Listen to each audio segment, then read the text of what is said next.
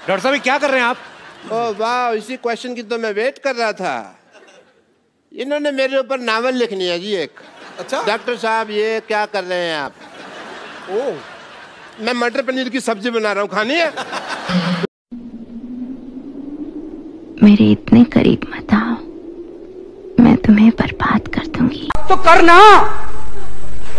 परेशान हो गए हम लोग ढाई साल से भी परेशान हो गए हम भी परेशान हो गए करो। तेरा गाँव किधर है? निम्डा डोजरस टेल मी। हर तबुश क्राक ओइकिनिम बोमला ये कौन सा गाँव है? ये आपसे पूछ रहा है आपका गाँव किधर है? शमशान घाट